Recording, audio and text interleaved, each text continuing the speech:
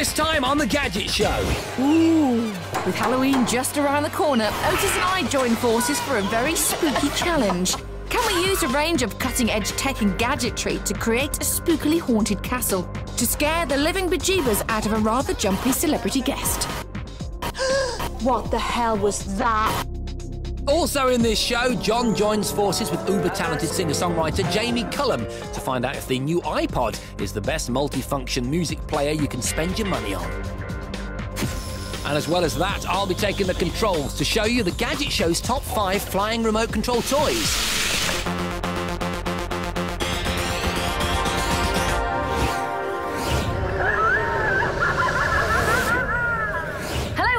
Welcome to the Gadget Show. Now, with Halloween just around the corner, we've decided to have a bit of a spooky theme to today's show. And we spent no money at all, no, with no expense spared, on props all around the studio, like this fantastic witch's cauldron modelled on an actual one in Suzi's house. Uh, this pretend replica actual human skull uh, with smoke in it. We've got pumpkins. We've got cobwebs. The Grim Reaper. This guy's pretty cool. Check him out.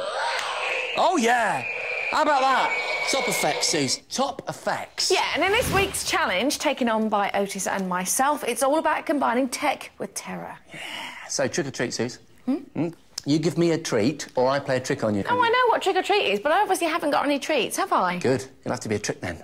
You're not going to do a trick. That's what Jon said earlier. Wake up, Bentley! Hey? Ah.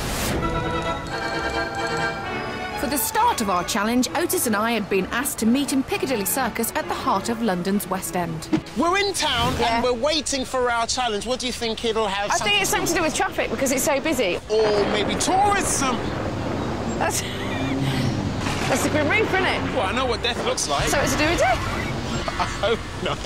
Suzi and Ortis, your task this week will be frighteningly challenging. With Halloween just around the corner, you must learn everything there is to know about the art of scaring people before using tech to create the scariest haunted house you can, where you must successfully spook an unsuspecting celebrity. That's really good, isn't it? Ah!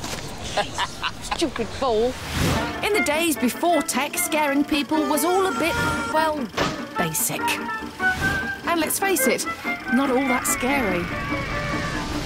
But these days, it's all a bit more sophisticated. Oh. The art of horror is now a multi billion pound industry, and millions are spent on research into how to give people a right good fright. Horror computer games like Dead Space, Resident Evil, and Silent Hill have taken the techniques of creating suspense and delivering a shock to whole new scary levels. Yeah, that's all very well for the virtual world, isn't it? But we've got to physically create a scary environment to scare the bejeebers out of our poor unsuspecting celebrity. Luckily for us, the traditional haunted house hasn't escaped the technological revolution either, with its modern equivalents now boasting a cutting edge horror experience, employing the very latest techniques to scare you silly.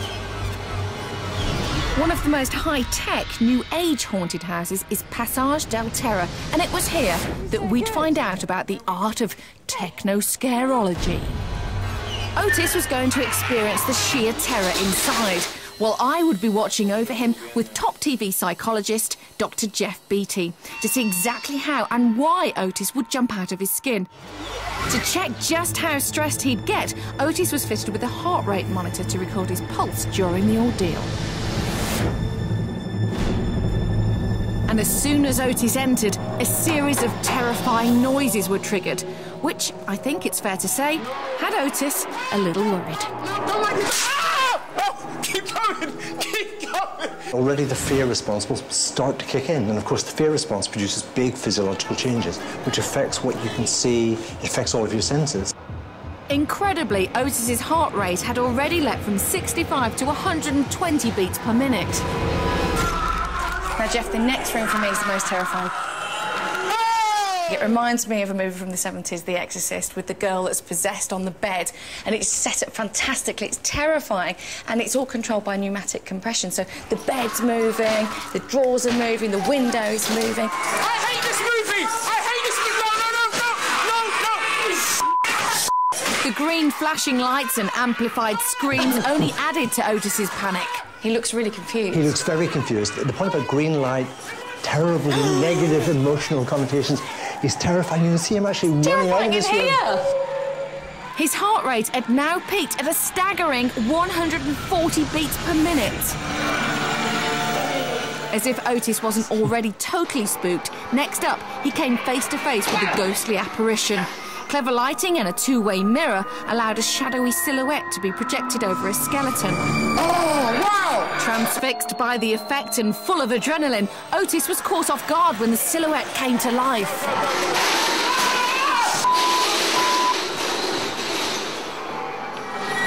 I don't know if I can take any more, to be completely honest with you, man. But his journey wasn't over. In fact, it was about to get much worse. The next bit of tech was about to be triggered. In this room here, there's a motion sensor. In a minute, he's going to walk through it. The motion sensing photoelectric cell was connected to the sound system. As Ortis staggered through its invisible beam, it sounded like a pack of dogs had been released. Dogs, dogs, dogs, don't like dogs! With his dignity now in tatters, Ortis clung desperately to the cameraman. I don't like it. Where are we going? Where are the lights? He's using the cameraman as a shield, and that's an attempt to kind of self-soothe. It's our way of dealing with negative emotion. But in the end, the cameraman's protection just wasn't enough for Ortis, and he fled. Poor Ortis. There wasn't one part of that that I liked. Not one. Look at me, look, look. And that's not because it's hot in there. I hate you. Forever, from, from now and forevermore. That was horrible. I take it all back, it did look terrifying. Feel that? You don't need a monitor. It's pounding! All right, go on, get out your system. Your eyes were like stalk. You're on stalk. Okay, let me, let me just... No, despite knowing the fact that there were 15 actors in there, he came out and he was covered in sweat. Having someone jump out at you when you're not expecting it, yeah, that's scary, okay? And that... Yeah, thanks. Yeah. It's here all for comedy Okay, I'm being effect. silly, man.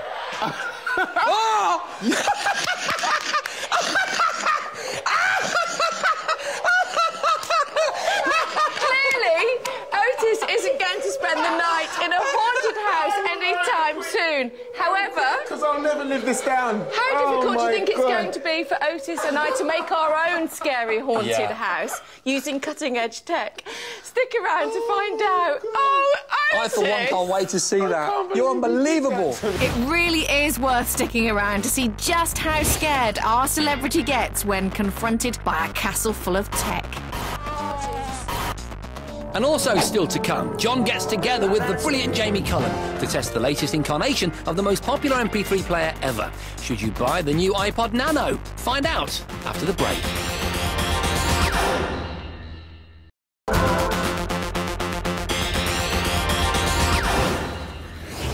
Welcome back. Now, I want to talk to you about MP3 players and the latest incarnation of the iPod Nano, the fifth generation of the best selling MP3 player ever in the history of everything.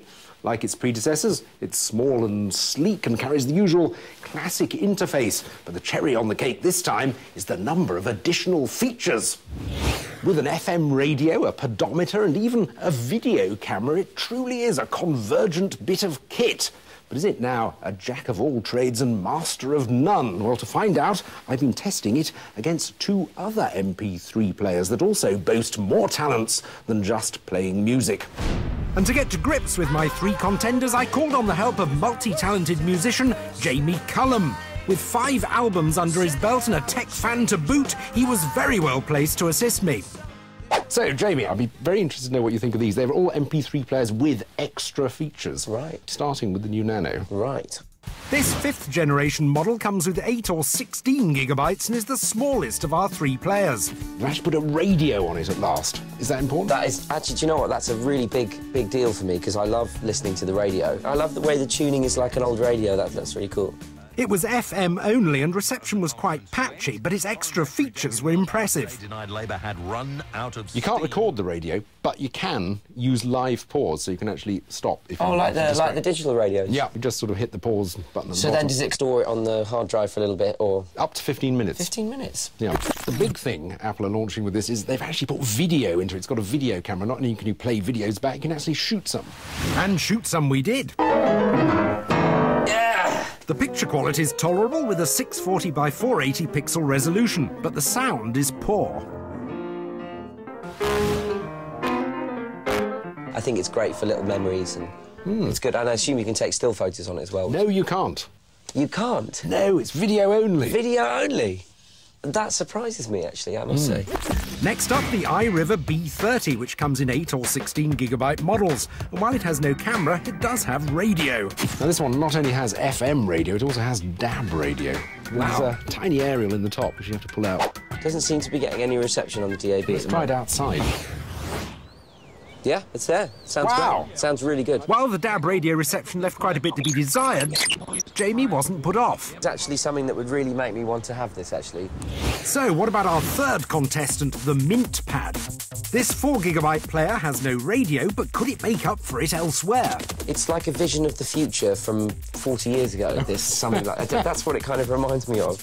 It includes a memo writer, a text reader, and Wi Fi browsing. Though as it exchanges data via the MintPad server in Korea, it's not always effective. So, so it actually has a video camera and a stills camera. Right. Should we try Ah, those? Okay, yes, let's try Yes. that. See how it stands up to the Nano. The 1.3 megapixel stills were fairly decent, but the video was a different story. It's like video used to be on old mobile phones when it first came out. I think the hmm. resolution's really low. There's not really a lot of great colour, but it's okay. So, Jamie was charmed by the iRiver's radio. But what about ease of use? To test that out, I devised a devilish test of dexterity. Right, Jamie, in order to test how easy these three are to use, I'd like to run through the basic functions on each player. So for each one, I'd like to find a track, press play, turn up the volume, and then navigate to the next track. Okay, I can do that. Mm, but all while playing a tune on the piano with your other hand. Right. First up, the Nano. Go. The Nano's click wheel was intuitive, but hard to use with pinpoint precision. Ah, this is harder than I thought. There we go. Hey, and 22 seconds.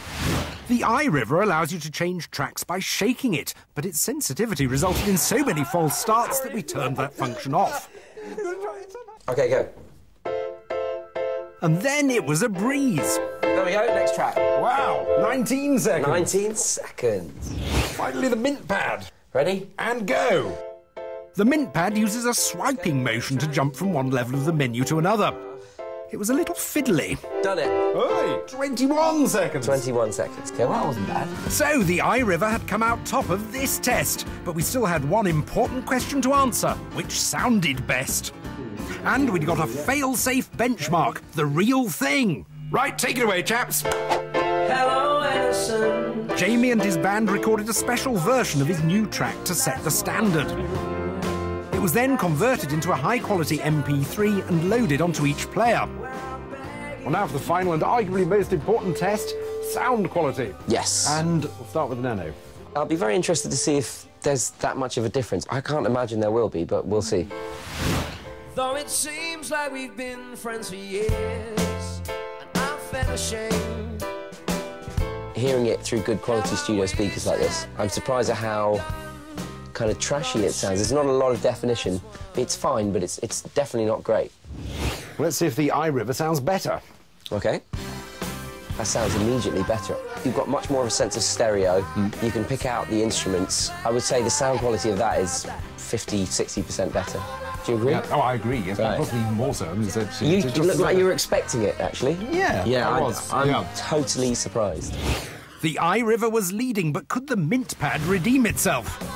Yeah, I mean, that's very, very different again. It's very flat, very bass heavy, and the piano sounds like it's in the next room under a mattress. But which was Jamie's favourite? I will probably go with the iRiver, actually. I'm really surprised I'm saying that. So, G ratings, and it's a lonely 1G for the Mint Pad. It's an intriguing idea and it does lots of things, but it does most of them rather badly. And it's 3Gs for the Nano. It's as attractive as ever, but its features can't make up for mediocre sound quality. And the iRiver just scrapes 4Gs. It's by no means perfect, but it sounds brilliant, and that makes it the clear winner in this test. Right, now we want your help to find the Gadget Show's Gadget of the Decade. Yeah, at the end of this series, in a special show, we'll be looking back over the most important decade in the history of gadgetry and choosing our gadget of the decade, the outstanding bit of technology that has defined the last 10 years. We want you to go to our website at 5.tv slash gadget show and vote for your favourite in five different categories. Best phone of the decade, Best music gadget of the decade, best entertainment gadget of the decade, best photography gadget of the decade, best computing gadget of the decade. and then finally, we want you to make your choice for the big prize, the overall gadget of the decade. So go on, get online and make sure your favourite gets chosen. Right now, it's time for the Wall of Fame. Each week on the Wall of Fame, we choose two iconic gadgets from a particular category. And then choose just one to join the growing ranks of gadget royalty on our Wall of Fame. And this week, it's a battle of the robot toys. It's Robo Sapien versus Aibo. Imagine having a pet dog that never stopped to pee up a lamppost, or that never got too old to learn new tricks. Well, there's no need to imagine. He's already here, and he's robotic. The beautiful and brilliant Sony Aibo.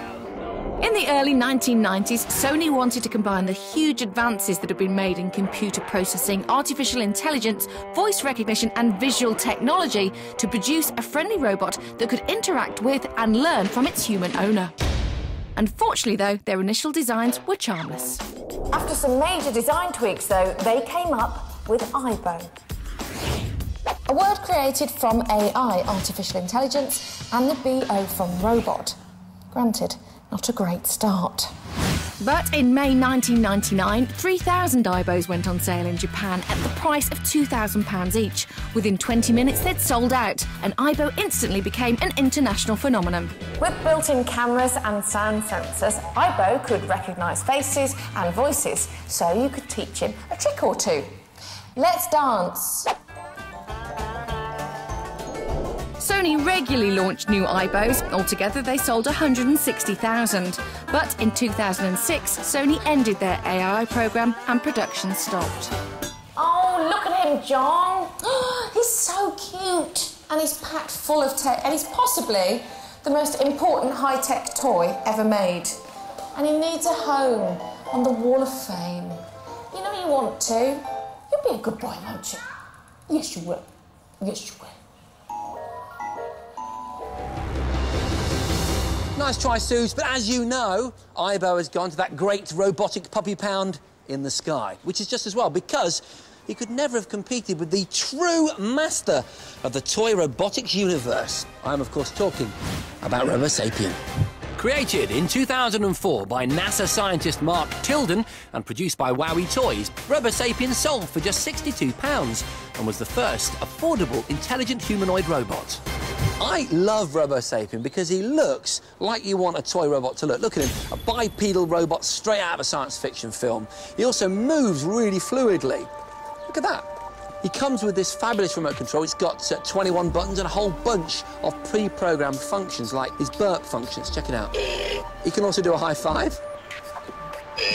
And one of three kung fu moves at a time. There you see. If little Aibo was there, Suze, Robo Sapien would deal with him. Within two years, he evolved into Robo Sapien V2. He was now 188 pounds, but he spoke 160 pre-recorded phrases. Gimme, gimme, gimme. And had an articulated waist and shoulders to help with his moves. RSV2 has improved hand and feet sensors, infrared vision, and audio sensors. So when he hears things, he can actually move towards or away from them, a little bit like Terminator. He just will not stop.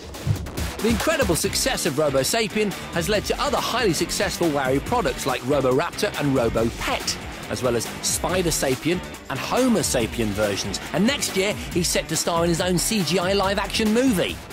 Since 2004, over 7 million Robo Sapiens have been sold worldwide. Understood. He's already an icon, a classic, the toy robot that everyone knows. And long after Suzi's dog thingy has been forgotten, Robo Sapien will live on. Both lovingly told, fascinating stories. But you can't escape the question. Suzi, the Aibo. I know it's very innovative, very clever, but it can't be that brilliant. They've stopped making it. It is brilliant, and this is not the Wall of Sales after all, this is the Wall of Fame. This is iconic, the most beautiful high-tech toy ever made, and it won hearts and minds. And Jason, Robo Sapien, I know it's very popular, but isn't it just a toy? And dare one say it actually a toy you might get bored with quite quickly, actually. Um, possibly, uh, you know, adults would, but the market for Robo Sapien, remember, is ordinary people, young children, uh, who can afford this kind of technology because it's mass-produced, it's made of inexpensive materials all over the world, over 7 million of them, in mm. fact. And for them, for the youngsters, the experience of playing with Robo Sapien is, isn't boring at all. It's actually very real. Yeah, so it's really, we've got the very popular versus the very clever and innovative. Ooh, tricky, tricky, tricky. It's close.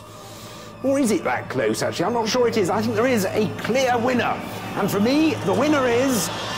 Aibo! Because it's just so much more than a toy. It really is clever and innovative. It deserves a place in, in an art gallery, in a science museum, and indeed on the Gadget Show's Wall of Fame. What do you think?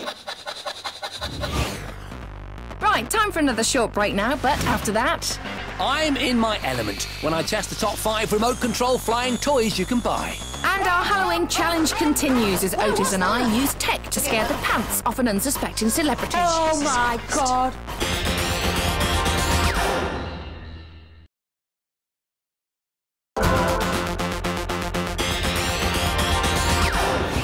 Welcome back. It's time for this week's top five, and as you might have guessed, it's remote control flying toys, a subject close to my heart.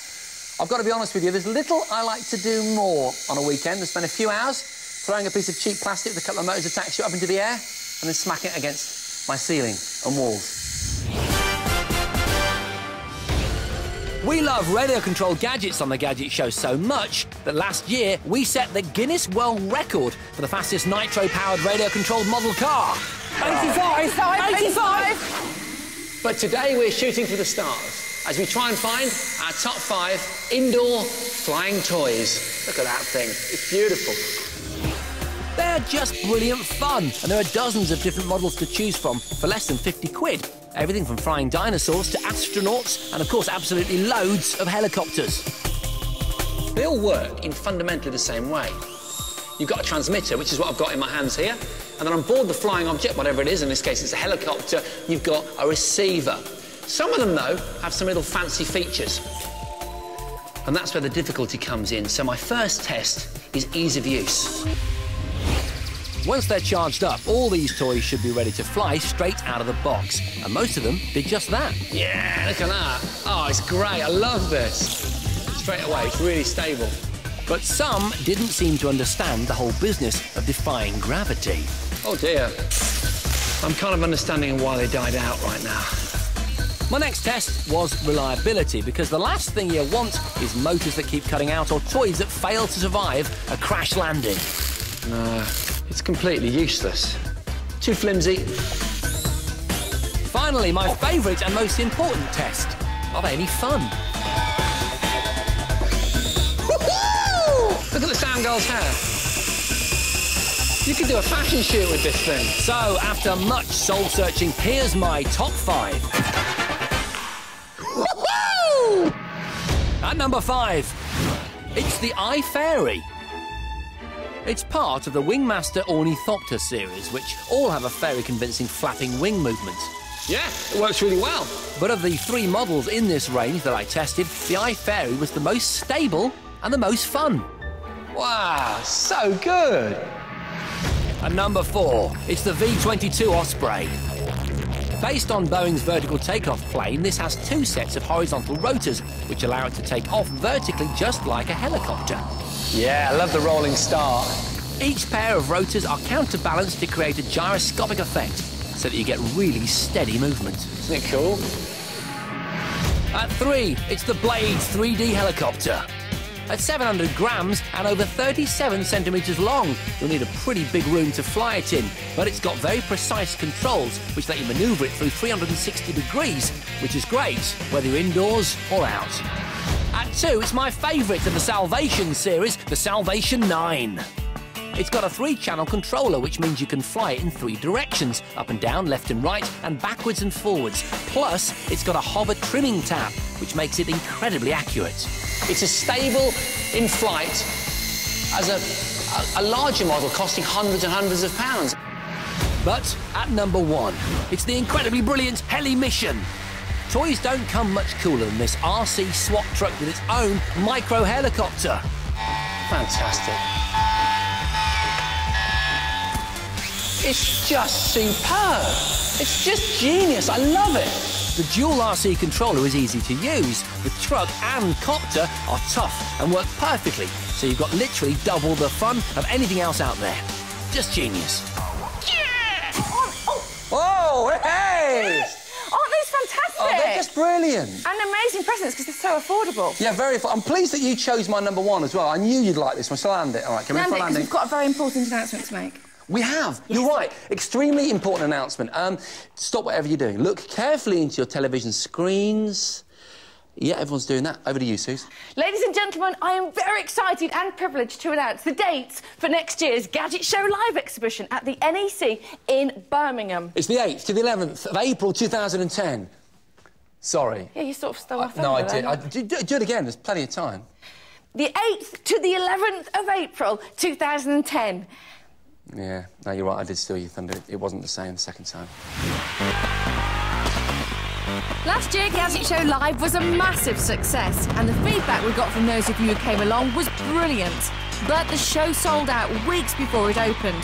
So this year, we've made it a whole lot bigger to try and ensure that every single one of you who wants to come along can.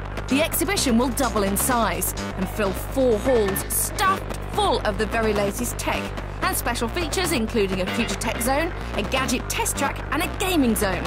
The Gadget Show Web TV team will be there, posting hourly reports from the show. And of course, you mustn't forget the 4,000 seater Gadget Show Super Theatre, where you can come and see me, Jason, Jon, and Ortis perform a very special version of the Gadget Show just for you.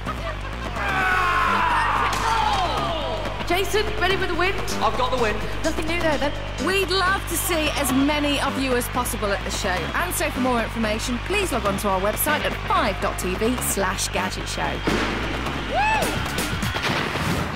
Right, now we're going to give you the chance to be the first person to get tickets for Gadget Show Live. Yeah, because in this week's competition, we're giving away six tickets to Gadget Show Live, plus tickets to the Super Theatre, plus a chauffeur-driven limo to pick you up from your house, take you to the NEC, hang around while you spend loads of money on gadgets, and then take you back home again. Oh, yeah, but if you win the competition, you won't have to spend loads of money on gadgets because we are giving away pretty much every gadget we think that you will need to make your own mini gadget exhibition. Yeah, check this out. 100 gadgets. Here's the list.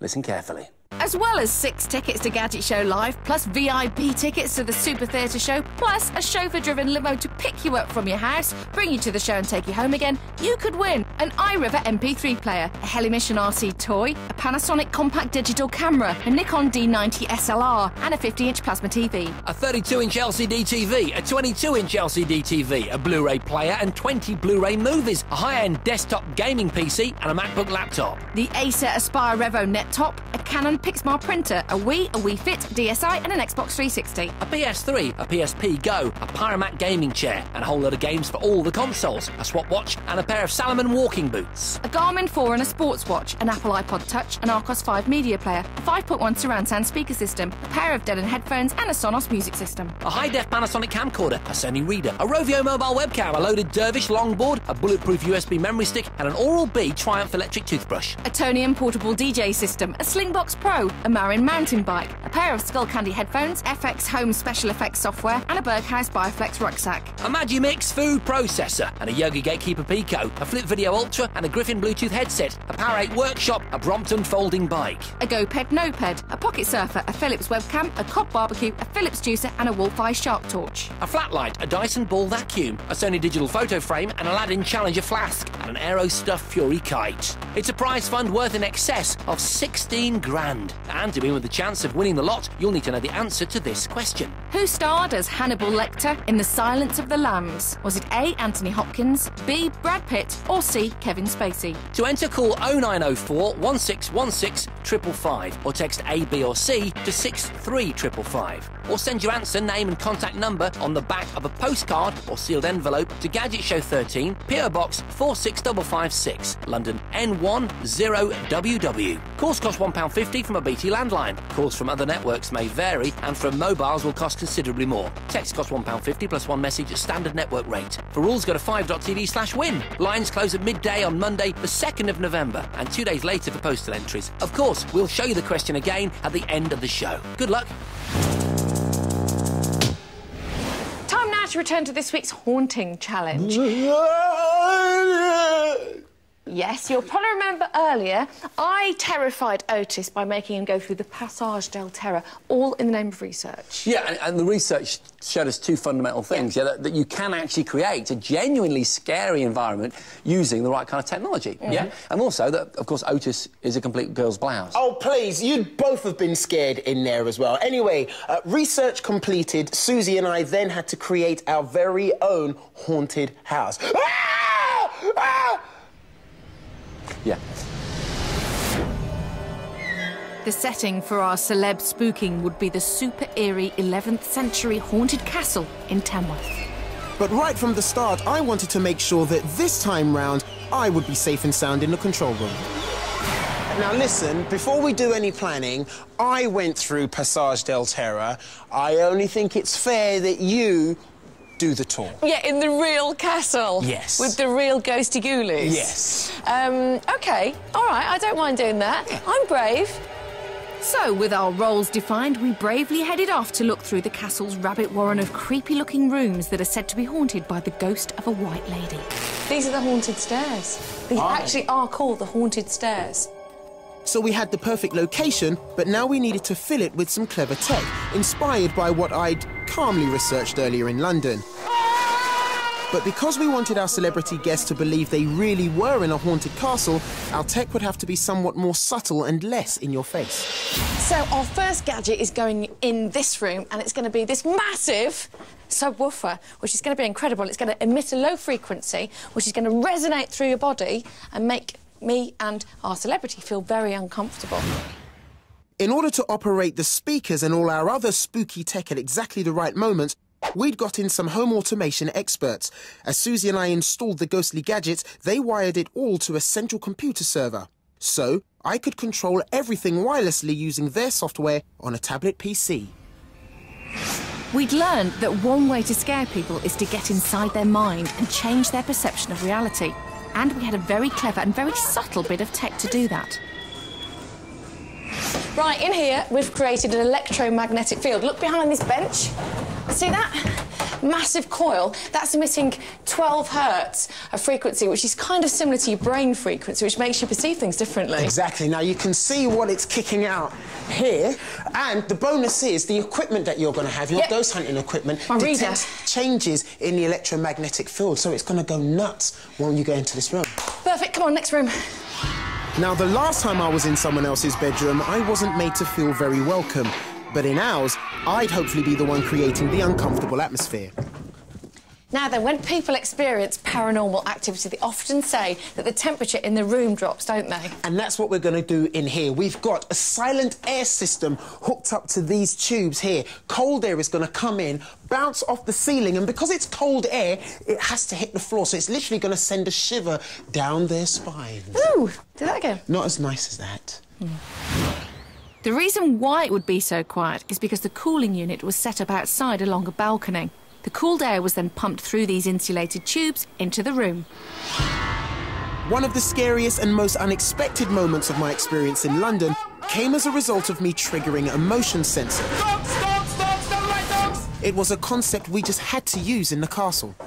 Now then, in this room, this is going to be really great because look down there. That's an infrared motion sensor. So when we walk through and break the beam, These lights are going to start flickering eerily.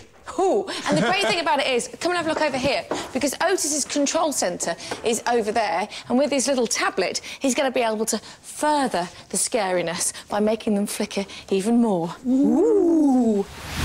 And it was also at the window that our guests would see our last techie trick.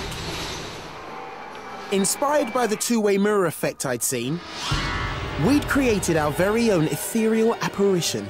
With a piece of glass placed at 45 degrees to our TV screen, we could reflect a creepy, ghostly homemade video through the window. With everything set, we simply had to tidy the place up and wait for our celebrity to arrive so we could scare them witless. Perfect. so, what did you think of our ideas then? I love them. I love the silent air ah, concept. Oh, well, that's supposed to make the temperature of the room drop by 10 degrees in a couple of seconds and all quietly. Yeah, can you imagine that? Just... Oh. Will it work? exactly. How scary will our high-tech scary castle really be? Yet how scared will our mystery celebrity be? Find out after the break.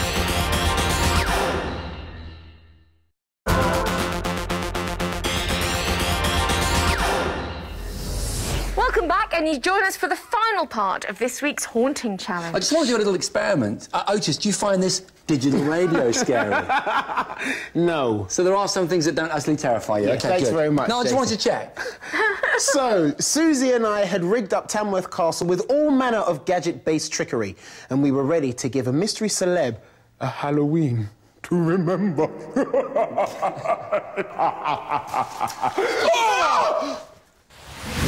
As darkness fell across the land and the midnight hour was close at hand, Ortis and I were ready to do some scaring.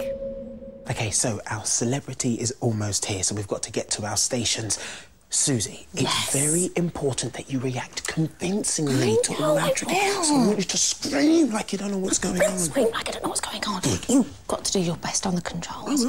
Don't make any noise. Don't get you traipsing around with those heavy feet of yours. Traipsing? Traipsing? Suzi, I have the feet of a dancer. I'm smooth and light. What, light on your feet? Yeah.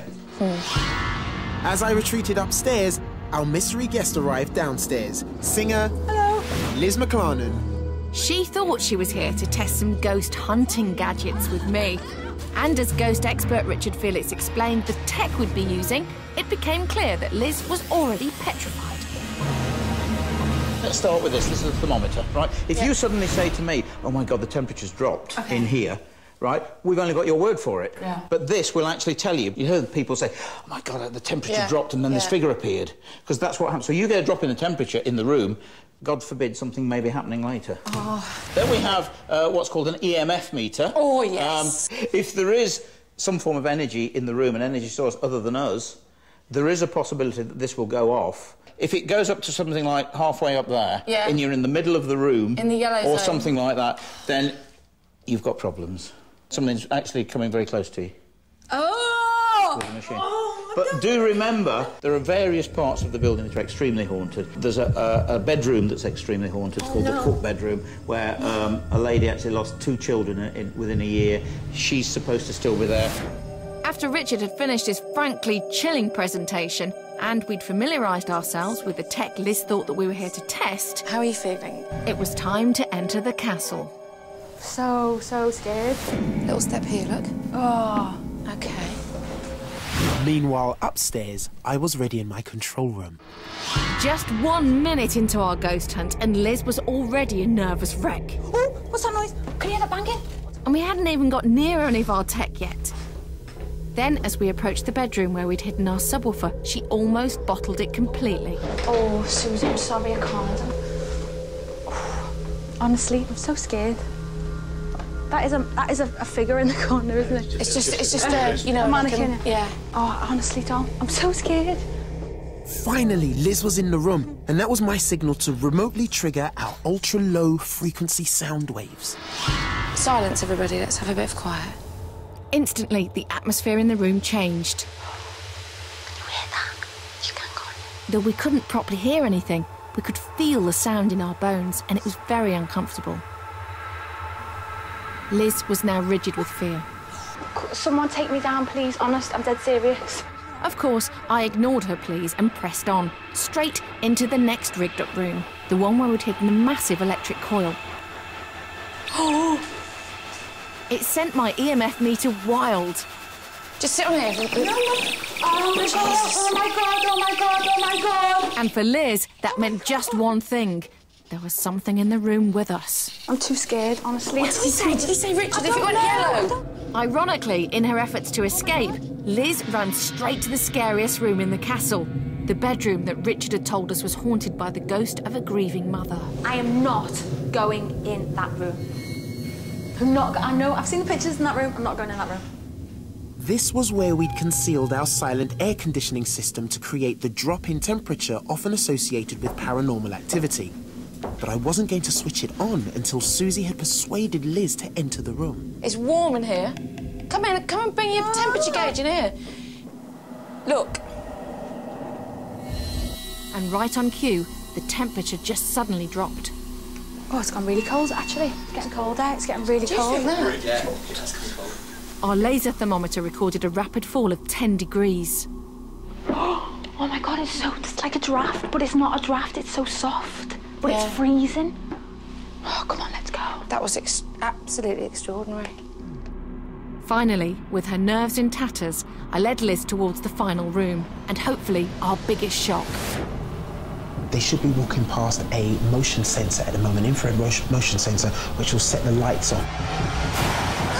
Oh my god, what the hell was that? What was that? It really was a scary moment, and Liz was now trying to hide behind her ghost hunting gadgets. Well, I'm scared. I'm suitably scared, yeah. Oh no, let's just go. Come on, please. Honestly, I'm so, so, so scared by things. She really wanted to leave by now, but we had one last shock waiting for her. Before Liz left the room, I had to dash downstairs and set up our ghostly apparition. Take the light down. And right on cue, Liz spotted something. What is that? There was something so supernatural and creepy about the face. It seemed to hover inexplicably in the room opposite. Liz was horrified. It's moving. oh my Is god, it it's this? Is it moving. me? No, it's it's not. not. Our ghost was truly frightening, and Liz couldn't take any more. Okay, let's go. Which way? Downstairs. That was my cue. It was time to rush downstairs and reveal the truth. Oh, oh, What did you see? oh. What did you see Was it you? there? No, no, not at oh. all. What did you see? Lots of nasty things. like what? Could they have possibly been gadgets that did it to you? Oh, wicked! oh, yeah! Oh, I love that more than anything.